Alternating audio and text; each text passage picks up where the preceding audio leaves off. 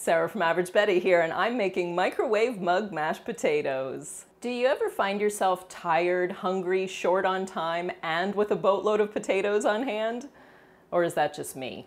Let's make microwave mug mashed potatoes. I have an Idaho Burbank russet here. About 10 ounces is a good size for a large coffee or latte mug. I'm going to peel this one, but if you want to leave all or part of the skin on, be my guest. You be you cut into equal-sized pieces that will fit neatly into your mug. And you can really use any microwave-safe container. But when you're sitting on the couch wrapped in a mermaid tail blanket binge watching Netflix and eating microwave mashed potatoes, the handle is a nice feature. So into the mug. Add water just until the potatoes are covered. Everybody in the hot tub. Cover the mug with a little bit of plastic wrap and leave a vent on one side. I'm going to pop this into the microwave for one minute. My microwave is a thousand watts and all microwave ovens vary, so get to know yours and use it carefully, why don't ya?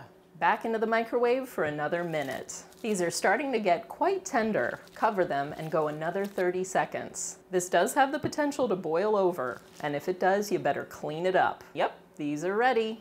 And did you know your potato masher moonlights as a strainer? Perfect for this situation. Drain the water. A little salt is really all you need when you have a good fresh potato. All natural, baby. But you can season this magical mug of possibilities however you like. Stick with comforting classics like butter and cream. Mm-hmm. Or put yourself in a comfort coma with shredded cheese, sour cream, green onions, bacon bits. A thing of microwave mug Americana right here. But what if you're not in couch potato mode and you're simply looking for a quick and easy meal? Try some spinach in the last 30 seconds of cook time. Kale is more hardcore and arugula is nice too. Back into the microwave, drain the water, a little salt. If you're gonna do it, do it right a little dairy. You could also use vegetable or chicken stock to keep things lean. Parmesan cheese, just a hint of green onion, mash all that up, a little zippity doo dah.